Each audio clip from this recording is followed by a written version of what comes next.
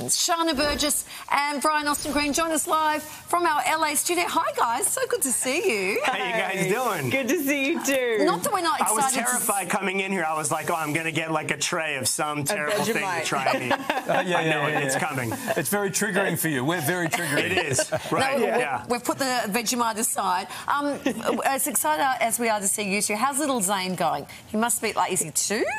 He's so good. He's just over two. Loves Vegemite. Eats it by the spoonful, by the way, which is even Can we stop more talking about it?